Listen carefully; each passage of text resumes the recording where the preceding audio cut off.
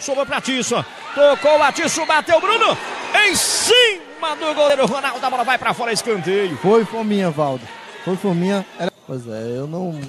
Infelizmente não. não sou mais novo do que você, mas. É, época... como era espetacular, Isso né? que era, isso que era. Também não, assim, vi jogando futebol de campo, né? Saúde básica de saúde de Itaperuaba, viu?